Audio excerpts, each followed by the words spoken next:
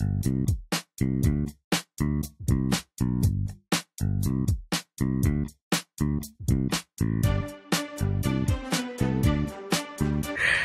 everyone, good afternoon. Welcome or welcome back to my channel. If this is your first time joining us then welcome. If it's not your first time welcome back. I'm so happy you're back.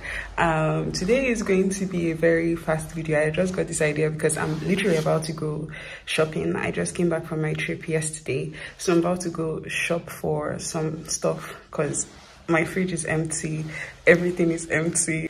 Right now i'm completely empty so i need to go get some stuff because um, we would soon be i think next week is new year's day and shops wouldn't be open so i'm trying to get stuff for like a full week and yeah so i'm just, just going to take you guys through like the process i have a budget i usually have a budget that i try not to exceed um, one other thing I do is I make a list, but I don't make a list of every single item I want to buy because my I tend to wander. So I would make a list now of the most essential items so that I don't forget. But the rest of the other things would just be let's see how it goes yeah so typically the most important items don't exceed like 20 euros or like 30 euros and then the rest of the money i would just buy stuff that I didn't know I needed until I saw them, if that makes any sense. But anyways, I'm going to stop talking too much and just get on with my process. So the first thing I want to do is to make a list and then we will see how it goes. so like I said, the first thing I usually do is to make a list and I already have a digital list on my phone. So i just always try to update it whenever i'm going out to get something. Usually i don't get things that are different from what is on my list. I have it in groups. So i have the list the list for skincare list for groceries list for african food if i'm going to the african food store. And i try to like stick to that list i edit it sometimes but not all the time like child look at this one look at this See, I'm meant for this sunny weather. I'm not meant to be trapped in the winter. Anyways, there was something I wanted to tell you guys. That was why I picked up this. I decided to film in the middle of the street. so, you know how if you live in Europe, you probably know that you should never forget. I don't know about other European countries, but I'm just coming from Austria and it's the same thing. And also in Germany, it's also the same thing that you don't forget your bag when you're going to the store. And I always do that. But today, I said, no, no way. No way I'm forgetting my bag again because who has that money to be buying a sack whenever I go to buy something? Meanwhile I have 10 at home. What is he doing? Why is he useless? So I decided to go back to pick that sack which is why I'm probably breathing really hard because I'm still trying to catch the bus but anyways I got my sack because nobody's spending money on sack. Yeah so that's it. That's why I picked up this camera to tell you guys don't forget your sack it's important. Bye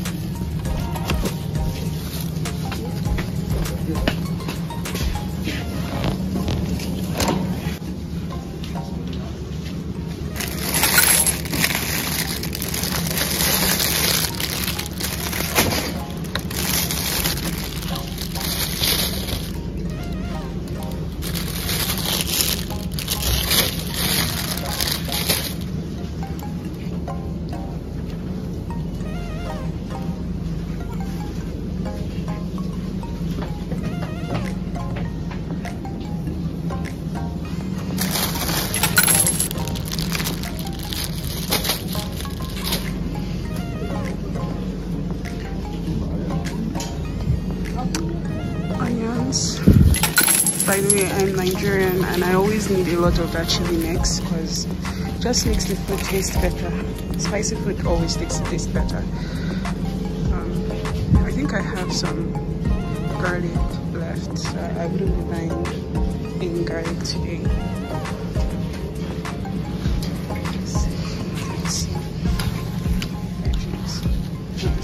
Almost wilted off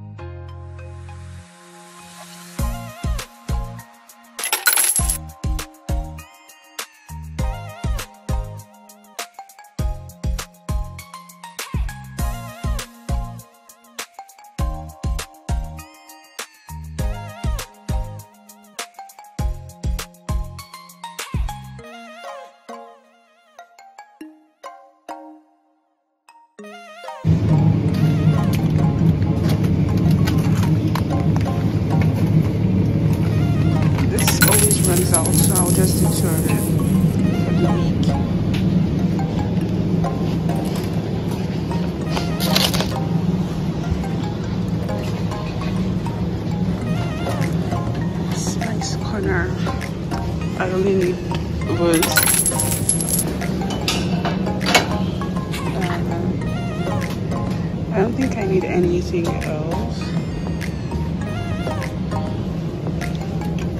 So I'll take this paprika spice. I'll put it in my brother's place and I don't know, kind of just don't know, like it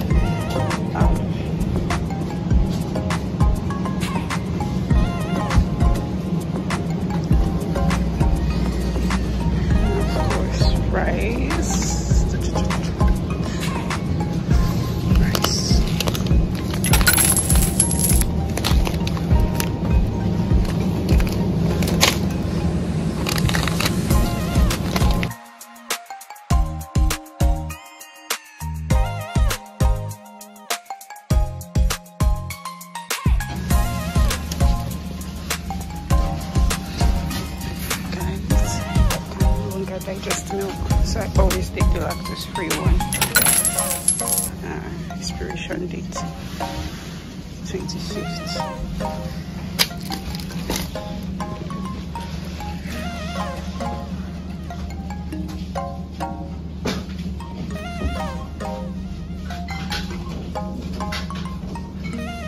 Thank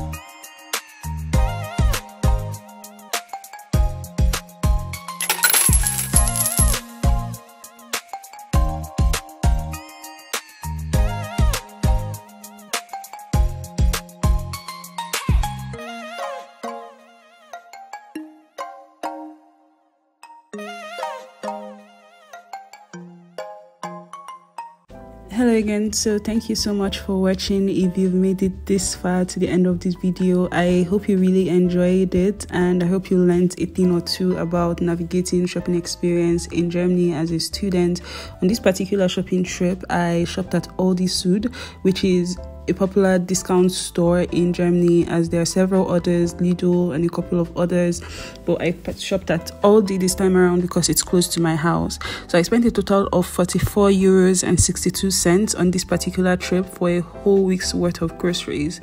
Um, so if you made it this far and you enjoyed the video please don't forget to give it a thumbs up and also subscribe if you're not yet subscribed. And i guess this is it for this one and i will see you in the next video. Bye